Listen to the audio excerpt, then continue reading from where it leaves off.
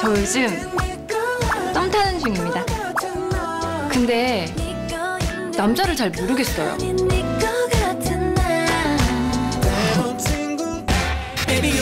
지금은 연애 상담이 필요할 때 사랑 주파수 37.2